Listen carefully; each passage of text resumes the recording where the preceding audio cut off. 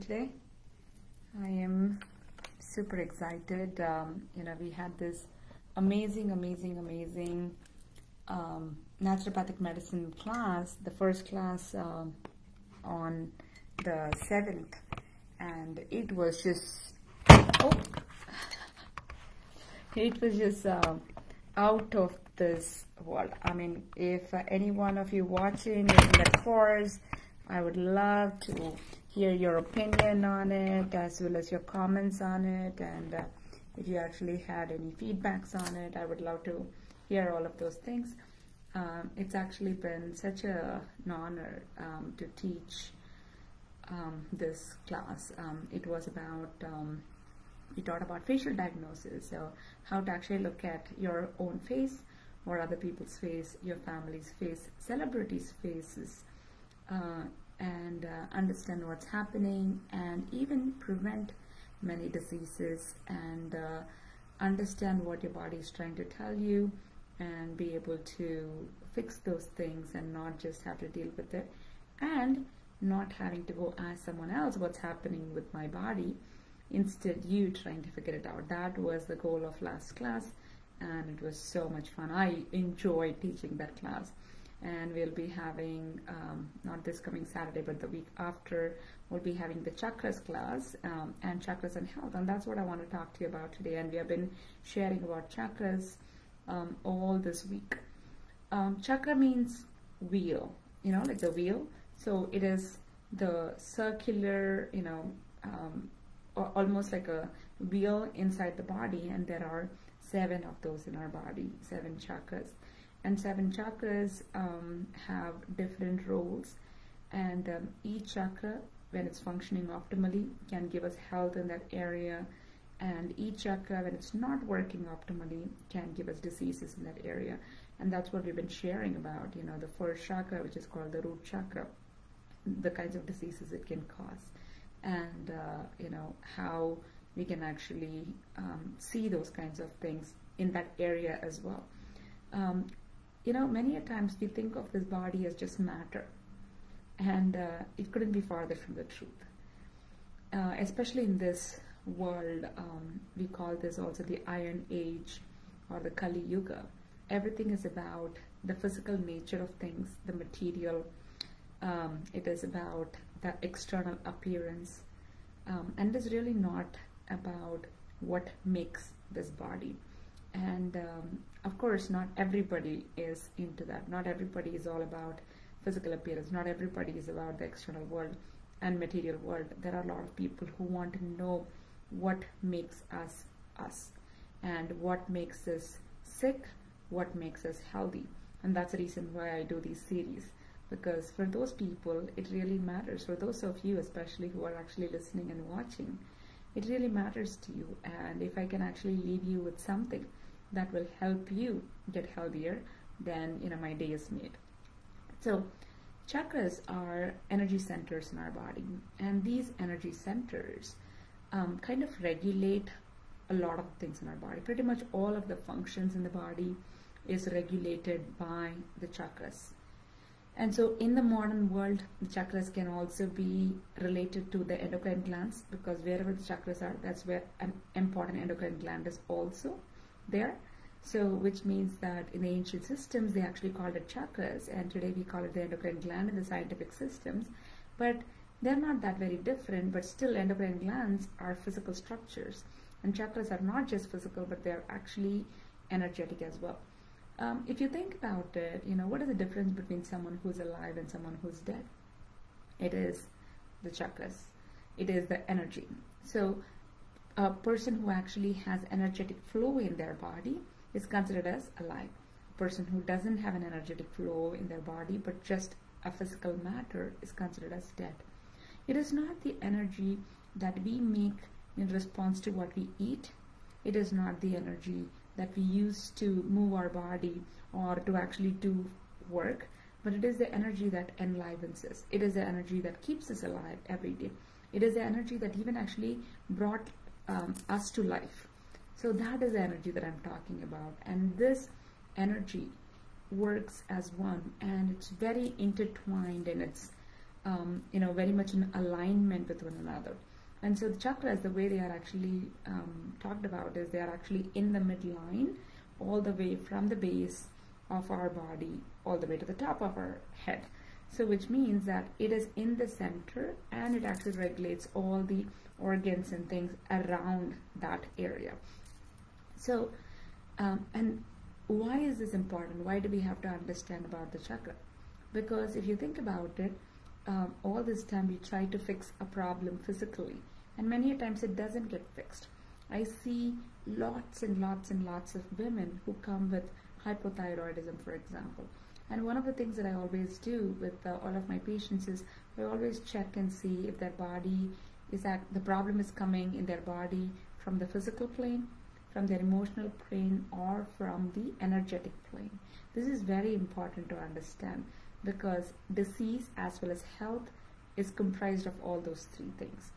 If it is not really coming from, I mean, it can come from one aspect of it, it can come from two aspects of it, it can come from three aspects of it. And this is important to understand. The reason why is so many people that I see with hypothyroidism, for example, they've been taking medications. They are on levothyroxine or synthroid, but they don't feel good. Their hair is still falling out, or they actually feel cold still, or they cannot lose weight. They don't have energy. They don't feel like themselves. This is one of the most um, common statements that I hear that I don't feel like myself. I've never been the same since this. And all of these statements, what essentially means is that the medication can keep their TSH normal, can keep their T3 and T4 normal, but it's not really making their body function optimally. That's what it tells us. So it's very important to understand that. And in many of these cases, I also see that these are people that have been in situations or are in situations where they don't speak their truth. They are not being their authentic self. And when they cannot actually speak their truth or they feel like they are suffocated from speaking their truth or if they do speak their truth, they will be uh, punished for speaking their truth. Many of them suppress that. And because our voice comes from here, and if we suppress our voice, it actually creates a blockage of energy in our throat. And because of that, somebody could actually develop hypothyroidism. I mean, it may sound so simple, silly even, or impossible, but that isn't true. There are so many things that may seemingly be impossible to you. That's not how it is in the real world. That's not how our body works. So it's really, really important to understand this aspect of it and how so many of these different things play into it. And another example is uh, root chakra, the first chakra. So uh, that has to do with relationships with our most closest relatives like our parents, siblings.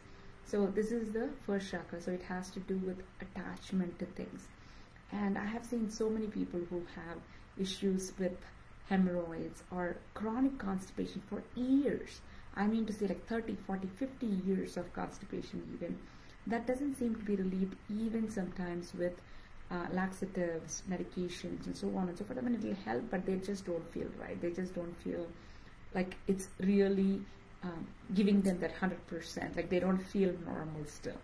So that, um, in many cases, I've seen that, and I talk to them and I actually find out deeper, uh, dig deeper and find out more. I realize I hear always that they didn't have a good relationship with their father or their mother, or they still don't have a good relationship with their father or their mother. And one patient one time told me this that so her father was sexually abusive, and uh, then he was actually arrested for some other crime, and uh, he was um, he was gone pretty much all of her life, and uh, so she never really developed a relationship with him, and she didn't want to develop a relationship with him, but she ended up having digestive issues and reproductive issues pretty much all of her adult life, and you know, of course, the question is, oh, does it mean that she has to actually go and make up her relationship with the father who actually did that to her? No.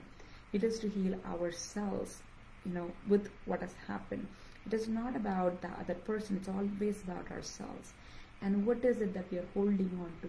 What is the energy that's blocked? Or what is it that is in excess that's actually contributing to problems? And that's what we actually started doing. We started working on many of those aspects with her and a lot of those symptoms went away it's just amazing, you know.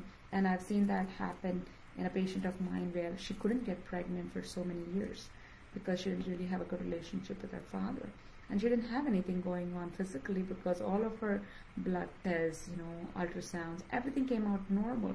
And they pretty much told her there's nothing wrong with you. The only thing that you can actually do now is IVF. And she didn't want to do IVF. Instead, uh, you know, she wanted to try the natural route. And when we started working on those aspects of it, that got better. So it's, um, I mean, it might sound like, no, this is oversimplified. How can it be that simple? But it's not simple. I'm not saying it's simple actually. It is um, understanding and it is healing. And when we understand and we heal, things do get better because that's the only way to be. Our body always wants to heal. And the only thing that it doesn't know to do is how to actually, um, you know, tell you, or it's trying to tell you and you don't necessarily hear it or understand it. Um, what is happening to it exactly and how you can fix it. And that's what we actually talk about in this chakras course. What are the action plan? What is it that you need to do in order for you to heal from different diseases? What is it that you actually can do so that things don't even appear in the first place? And you can still join the facial diagnosis course if you want to because that is just such a fascinating thing. And uh, you can actually understand so much about your body. And of course the chakras course as well. And we are offering that those as standalone because some people probably are not ready for the whole thing and that's okay right? You just want to learn about some things like the stories that I told you. Then you can do that. Or you can join our naturopathic medicine course. It consists of eight modules and it consists of the facial diagnosis which we just completed. And even if you enroll for it now you can still watch the video from it and be able to ask questions on the discussion panel and get questions answered. And the chakras course which is coming up soon. And then we have a whole module about herbs. We have a whole module about homeopathy. We have a whole module about um, energy testing um, and energy medicine um, rather muscle testing and energy medicine uh, which is also um, energy testing really and we also have another module coming up um, about um, marma points. So there's all these exciting things that's coming up. And supplements there's another one that's about supplements because there are so many supplements out there isn't it? And we really don't know which ones to take. We don't know whether it's right for us. And when do we take which supplement? And there's so much information out there on google and dr google doesn't necessarily help.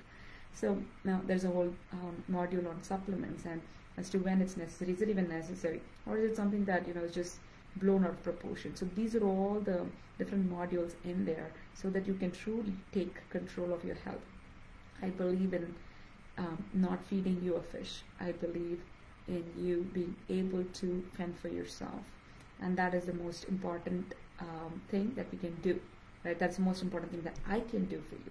And that's the reason why we are actually presenting you with these courses now so that you can start taking them and you can do better for yourself without anybody's help.